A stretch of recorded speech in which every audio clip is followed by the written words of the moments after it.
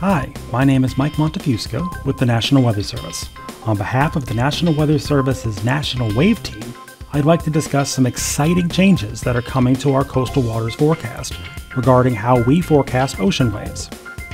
Before we go into specifics, it's important to highlight some basic information about ocean waves. Waves have three fundamental characteristics. All waves have a height, a period, and a direction. Wave height and direction are fairly basic. The height is how tall the wave is from the trough to the crest, and the direction indicates where the waves are coming from, not the direction they are headed towards. Wave period is a little more complicated, but arguably the most important of all three of the fundamental characteristics of waves.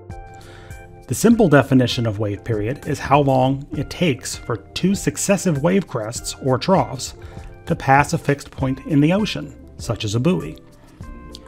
Wave period is also related to several other parameters, such as wave speed, how energetic it is, and how deep it extends into the ocean.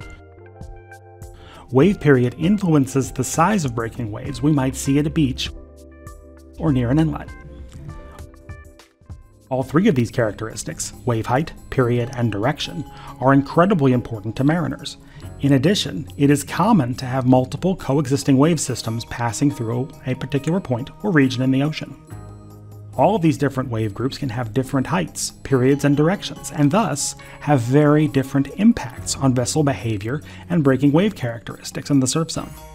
If we don't provide this information, we may not be providing mariners and beachgoers the information they need to decide whether it's safe to venture out on their particular vessel.